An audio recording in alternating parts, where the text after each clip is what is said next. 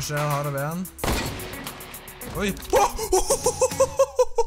Så planen min akkurat nå, det er rett og slett å ta over tilted. Jeg vet at jeg alltid bruker å dra veldig mange her. Det var ikke så veldig mange som det bruker, hva ser jeg? Men det er i alle fall min store plan, og det er å ta ut festparten som befinner seg her i Tilted Tower. Så jeg bare tar og kjapt bygger meg ned.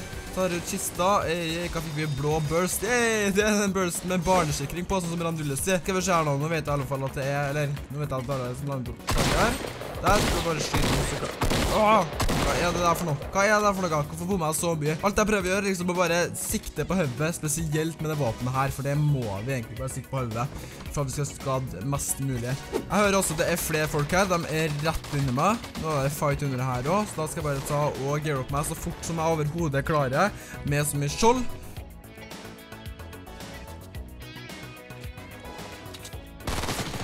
Der, oi, ok. Der, vet du, herlig. Og han har seg nye rifler, som er da hunting rifle.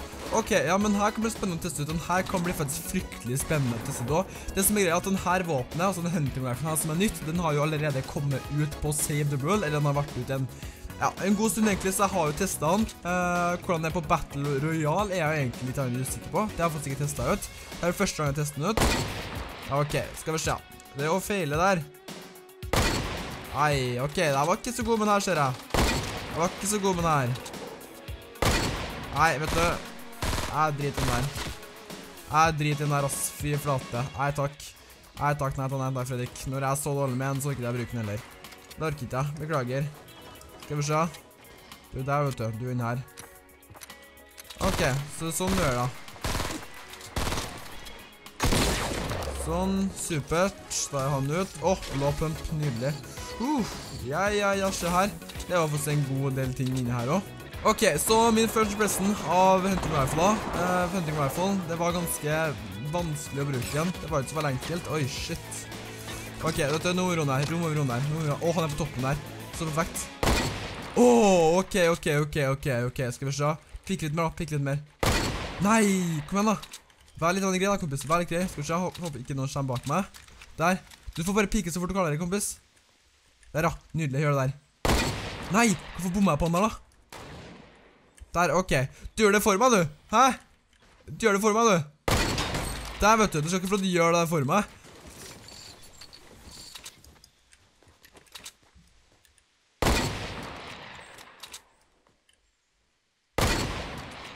Ah, den er helt vanskelig å bruke der, ass.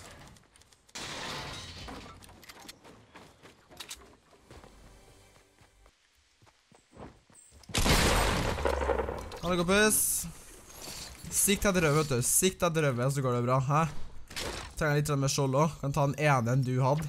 Så tilbake. Jeg skal ha tilbake den her eh, hunting rifla mi. Nydelig. Sånn. Hvorfor har jeg egentlig den der? Jeg vet ikke. Jeg stortrives med en eh, blå AR. En blå AR med skuddsikring. Ok, den skjer vi rett bak her. Ok, den kan vi ta ut. Uansett hva som er her, han kan vi ta, vet du. Så ganger han ikke er utenfor sånn. Der har vi en, der har vi en. Ok, ok, ok, skal vi se. Traff vi den? Vi traff den ikke, vet du. Ok. Ja, jeg er ikke flink med hunting rifle, ass. Det skal jeg ta ærlig innrøm. Jeg kan ikke bruke den egentlig i det hele tatt. Det merker jeg nå. Skal vi se, nå tar Sono. Han bygger bak, ja. Han er smart. Han er smart, vet du. Han her kan vet du. Herlig. Den re eliminated. Nydelig. Plukke opp den der i stedet for. Skal vi se. Den der heter det. Lunchpad.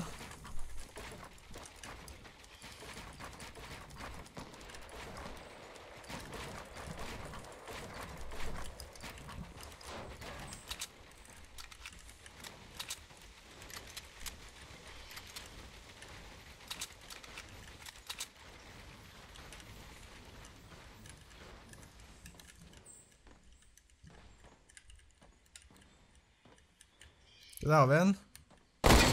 Ah, jeg traff den ikke der, da.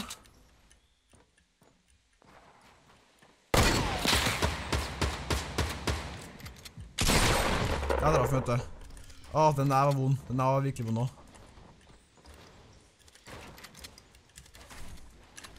Skal vi se. Vi snakkes da. Vi snakkes. Du får bare ta og komme etter, kompis. Du får bare ta og komme etter. For jeg vet at det er akkurat det du skal gjøre også. Kom igjen, da. Hvor kommer jeg fra, liksom? Hvor kommer jeg fra? Kom igjen, da. Da må han jo være rett borti der, da. Hvis han ikke er herifra. Fy flate. Hæ? Nei, han døva sikkert han. Han døva han. OK. Han døva. Han var så fryktelig lav, han der. Det er det jeg sa. Hvis du ikke er inne i sonen, så dør du, ass. Da dør du. Ah, men jeg bør faktisk ha mer skjold, altså. Jeg føler meg ikke trygg i det hele tatt når jeg har så lite skjold som jeg har. Eller jeg har faktisk ingenting. Um, så det er akkurat det. Det er ikke bra, vet du. Det er ikke bra.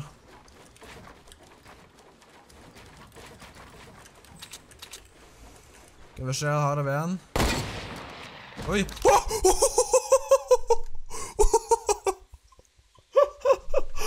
Fy flate! For et skudd! OK, det der hadde jeg legit aldri forestilt meg. Jeg trodde ikke jeg traff den heller, egentlig. Men OK. Uhuhu. Ja vel, ja vel, ja vel. 90 var den skada. Det var faktisk mye mer sjukere enn jeg trodde. OK, droppen er der. Den er jo faktisk på en veldig veldig fin plass. Vi har en god del materialer. Uh, hva kan vi egentlig ta og finne i den der, da? Hæ? Hva kan vi egentlig ta og finne i den der? Det må vi sjekke ut. Vi må ta og sjekke ut. Kanskje vi finner noe spennende, kanskje en rocklunsjer. Nå er jeg nede i dalen, og det hater Er det en som er over meg nå, så er jeg ganske screwed, for å si det mildt, egentlig. Uten å bruke noe stigge ord. En chuggjug, da. Det har vært noe som har funnet en chuggjug. Det har vært veldig greit òg. Skal vi se. Let's go, boy. Å, vi finner det, vet. Vi finner det òg, vet. Hva sier vi, Fredrik? Hva sier vi? Vi sier chuggjug. OK, vet du, jeg må bare blokke meg, da. Jeg vil ikke dø på den her. Jeg vil ikke dø på den her. Jeg vil ikke dø på denne. Og ikke bare, eller ikke nok med det, men vi fant faktisk også impulsgrenade, og vi har medkittet våre, som vil si at vi liksom har den perfekte loadheten, vil jeg ta oss til, Hæ? Sånn. Let's go, boy. Let's go, let's go, let's go.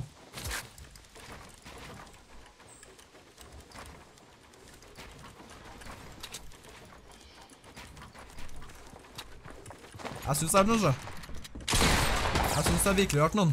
Og det, jeg synes at jeg har hørt noen også. Fy fladen, jeg reagerer med en eneste gang. I sekundet jeg hører at det kommer en versjon, så reagerer jeg, ass. Jeg reagerer lynkjapt nå for han når det til Fortnite. Jeg er skummel når det kommer sånn der, ass.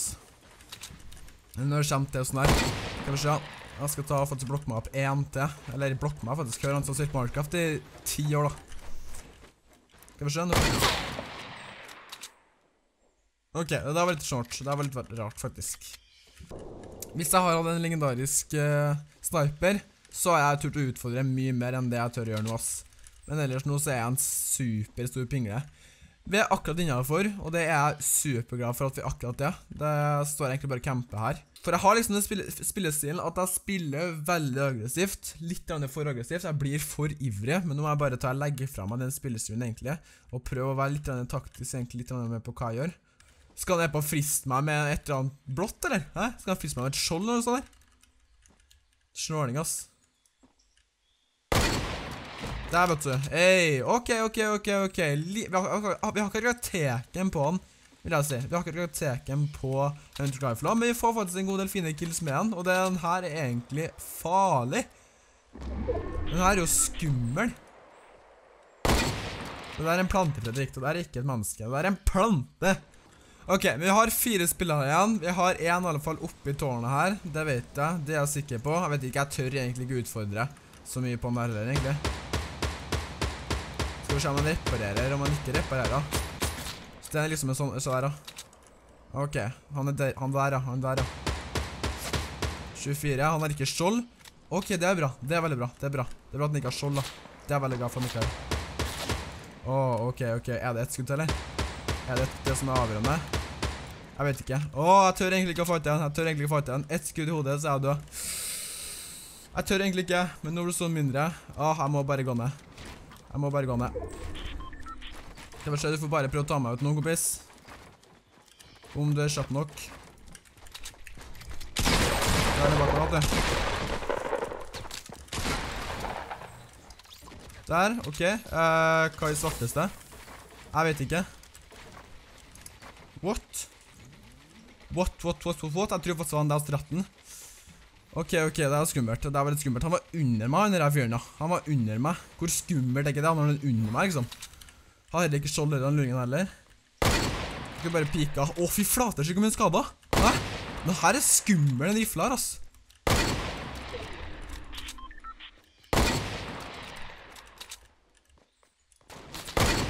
Oi, 90.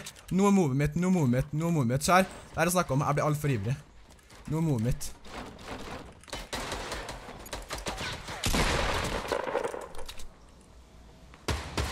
Nei, nei, nei. Har ikke mer. Nei, nei. Ikke mer materialer. Ikke mer materialer. Jeg er skrudd, jeg er skrudd, jeg er skrudd. Jeg er skrudd, jeg er skrudd, jeg er skrudd. Jeg er skrudd. At det går an. Hvorfor rusher jeg med så mye lite materialer?